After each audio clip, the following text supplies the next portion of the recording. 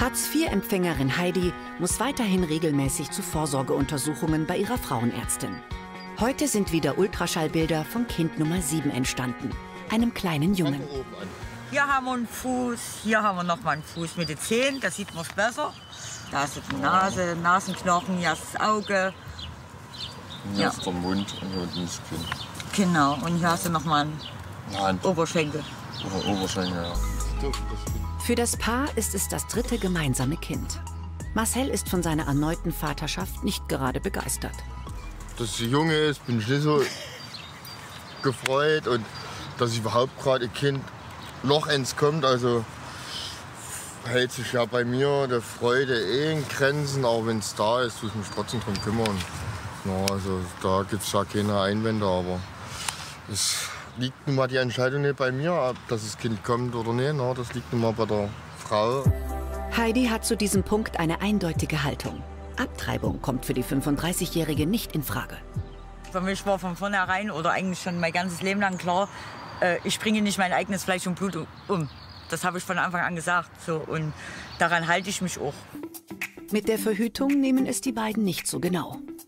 Wir machen das immer meistens so, dass wir halt nicht äh, äh, zum Eisprung äh, äh, Geschlechtsverkehr haben. Und mit Kondom habe ich es auch schon mal probiert. Also, Das geht ja voll in die Hose. ja, die sind meistens immer gerissen. Ja, und die Pille nimmt sie nicht. Bei Heidis siebter Geburt steht die Entnahme der Gebärmutter im Raum. Danach könnte sie keine Kinder mehr kriegen. Marcel befürwortet das. Doch für sie ist Verhütung nicht nur reine Frauensache. Ja, na klar, aber das, du darfst nicht vergessen, ne, dass Männer genauso ihren Teil dazu tra- beitragen können. Warum sollen denn immer Weiber das machen? Das können auch Kerle machen. Weil du dann schon sieben Kinder hast, irgendwann langt es doch mal, oder? Ja, das na und? siehst du nicht ein, ne? Na doch, das habe ich selber gesagt, das reicht langsam. Thema beendet. Gut. Die vier Kinder von Heidis Ex-Mann sind im Heim. Ihre zwei Töchter von Marcel bei Pflegeeltern.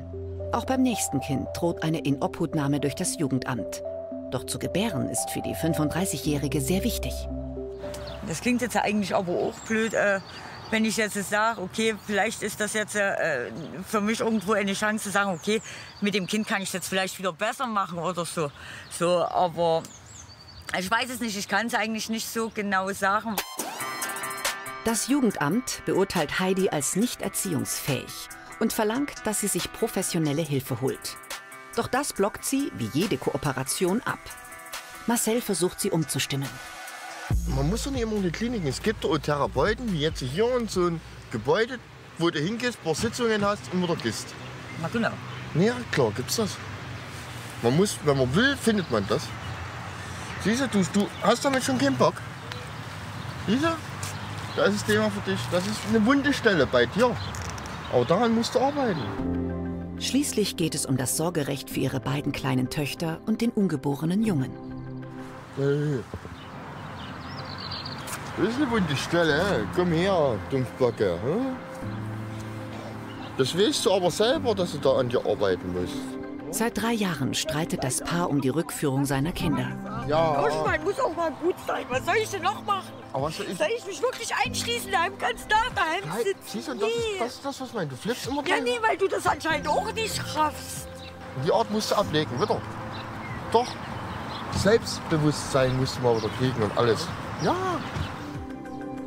Das Jugendamt verlangt von beiden Kooperation. Das Urteil im Sorgerechtsverfahren ergeht schon bald. Eine Zerreißprobe für die Nerven der Eltern. Auch weil Marcel bisher weder die Vaterschaft anerkannt noch eine Haaranalyse gemacht hat. Gründe dafür nennt er nicht. Abends in Weißenfels Neustadt. Der 16-jährige Max hat Liebeskummer. Denn vor kurzem macht seine Freundin Josie plötzlich Schluss mit ihm. Sie hat halt gesagt, sie kann das halt nicht mehr führen. So, und dann hat, hat sie das halt dann. Ist dann halt meine ganzen Pullovers zu mir gebracht. Nicht direkt zu mir, aber ich habe sie dann abgeholt und dann, ja, haben wir uns getrennt. Und jetzt ist sie mit ihren Ex wieder zusammen. Zwei Monate sind die Teenager zusammen gewesen. Der Hauptschüler tröstet sich mit seinem Hobby, der Rapmusik.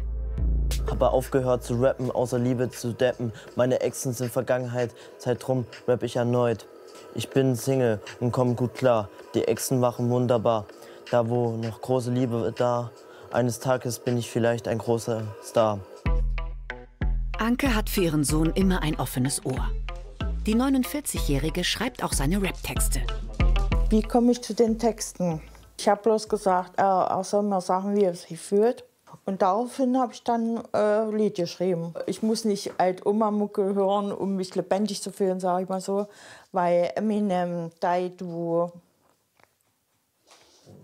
mit sowas bin ich halt groß geworden. Die sechsfache Mutter hilft ihrem Sohn, seine Gefühle in Rap umzuwandeln. Liebeskummer kommt bei Max häufiger vor. Du, du, du weißt doch, wie du dich gefühlt hast wegen deiner Ex-Freundin. Ja. Ja, das musst du rüberbringen.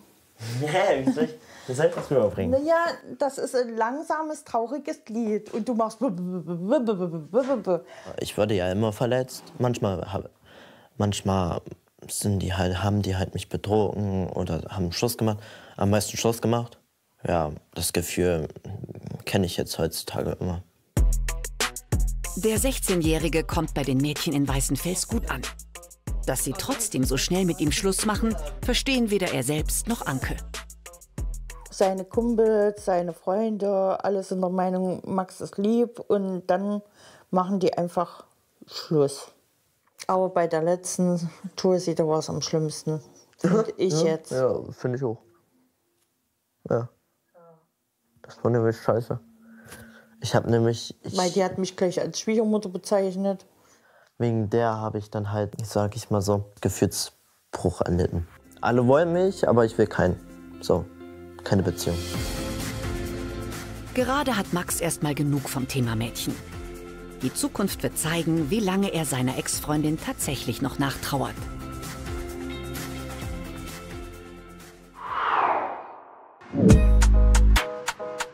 Seit acht Wochen lebt Susan in Weißenfels Neustadt. So langsam will die 34-Jährige ihre neue Wohnung weiter einrichten. Unter anderem fehlt ihr noch eine Spüle. Eine Abwaschung muss man ja trotzdem. Brauchen wir jetzt auch Bedachen und Teller. Ja. Ja. Wie kam es jetzt dazu, dass du noch keine Spüle hast? Na, weil ich, äh, ja, na, weil ich halt hier von hier nochmal komplett neu anfange. Also mit Möbeln und so. Da hat sich halt auch nichts gefunden, was günstig ist. Äh, was Spüle oder so angeht. Und daher wasche ich hier und Bad, aber ich finde das jetzt auch nicht schlimm. 180 Euro hat Susan monatlich zur freien Verfügung. Davon auch noch Einrichtungsgegenstände zu kaufen, ist nicht einfach.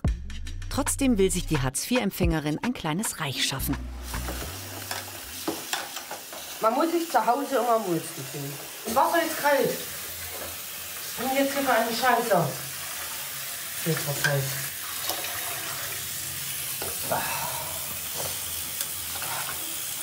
Ranzig. Zum Glück kann die gebürtige Weißenfelserin heute von ihrem Bruder aus der Nachbarschaft dessen gebrauchte Spüle und seine alte Waschmaschine abholen. Beim Transport helfen ihre beste Freundin Susi und der gemeinsame Kumpel David. Moin, Schatzi. Es regnet. Hast du das Wetter verstellt? Na, scheiß Wetter. Moin, David. Was ist denn Ähm, meinst du, ich krieg mal rein in die Waschmaschine? Oh. Ja, und die Spüle. Ich glaube, wir müssen auch zweimal fahren, ne? Wegen der Spüle. Wollen wir erstmal hoch zu Uwe. Susan sieht ihren Bruder Uwe lange Zeit gar nicht. Nach ihrer Rückkehr in die Heimat trifft sie ihn zufällig wieder. Als er von ihrem Neuanfang in Weißenfels hört, beschließt er zu helfen, so gut er kann. Die Spüle kriegen wir nie ins Auto. Nee. Nee. Aber die Waschmaschine. Immerhin kann Susan Uwes alte Waschmaschine mitnehmen. Ihre eigene funktioniert nicht mehr richtig. Ich habe meinen Bruder nach vier Jahren wird er getroffen und wir haben uns unterhalten und hat gesagt, dass er noch die Waschmaschine und eine Spüle und so alles noch übrig hat, also dass er es nicht braucht. Susan flüchtet vor kurzem aus Erfurt wegen häuslicher Gewalt. Freunde und Familie helfen ihr beim Neuanfang. Während David und Susi die Waschmaschine im Auto transportieren, gehen die Geschwister zu Fuß. Ich hoffe, ich hoffe, du wohnst nicht ganz oben. Hoch. Das ist nicht so ganz so hoch. Doch ganz oben. Aber ach, das sind nicht viele Treppen, sind auch 54. 54 Stufen. Gemeinsam schaffen die Freunde das Gerät ins Dachgeschoss. Susans alte Waschmaschine hat kaputte Heizstäbe. Damit kann sie nur noch kalt waschen. Dauerhaft ist das kein Zustand. Die Waschmaschine hat mich in den Wahnsinn getrieben, ich schwör's dir. Ich wasche Wäsche, ich denke, warum stinken die, Alter? Essig reingemacht, Backpulver reingemacht, alles reingemacht. Meine Beste hat immer meine Wasche, äh, Wäsche gewaschen, bei ein paar frische Schlupper und so. Hinter der alten Waschmaschine der fünffachen Mutter hat sich so einiges angesammelt. Was hast denn du da hinten? Was denn? Hast du Hunger? Also Nudeln, Bonbons. Das kann nur wieder von meinem Punkt gewesen sein. Ja, das ist ja immer, Das ist jetzt auch immer, ein immer die Kind. Kinder. Die immer die Kinder. Die, das ist eine Spinne. Mach die tot, Junge. Ich habe eine Spinnphobie. Tönnes. Das war's eierlich. Meinst du, ich sperre sie gleich weg? Weg, Die ja. lebt ja noch. Trotzdem noch. Die lebt nicht. Die lebt. Die ist tot. Willst du haben? Ich, ich setze dir auf die Hand. Komm. Oh, das, da lernst du aber das Fliegen, klopfst So, mir. mach mal. Ey, was ist denn das für ein Vieh, Alter? Eine Spinne. Ja, die ist aber gefleckt. Töte es. Kann gefährlich sein. du hörst wieder. Hallo, ich habe eine Spinnphobie. Ich sehe da nur noch Spinnen. Ich mach's dir gleich weg. Gleich. Sammelt die immer hier rum, Alter. Was denn? Ich geh raus. Nee, die ist schon tot, Uwe. Ist mir doch egal. Arme Tier. Es war außerdem keine Spinne. Nachdem sich das Problem gelöst hat, schaffen Susan und Kumpel David die alte Maschine aus dem Weg. Nun kann die 34-Jährige erstmal einen Probewaschgang starten. Da ist die Wäsche aber trotzdem nicht getrennt.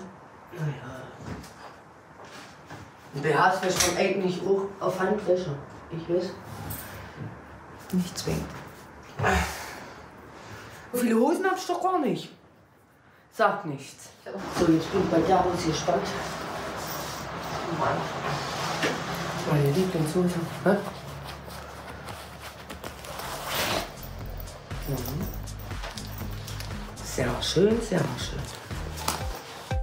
Die neue Waschmaschine funktioniert einwandfrei. Wieder ist Susan ein Stück weiter mit ihrer Einrichtung gekommen. Nach und nach baut sie sich ein neues Leben in Weißenfels auf.